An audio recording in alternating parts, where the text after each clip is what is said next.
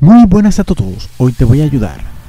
Cómo quitar este widget del clima en tu Windows 11. Lo primero que vamos a hacer es dar clic derecho en nuestra barra, luego le vamos a dar donde dice Taskbar Settings, luego nos aparece esto donde dice Widgets. Y le damos clic. Y automáticamente vemos que desaparece el clima. Y listo. Es cuanto a este video, muchísimas gracias.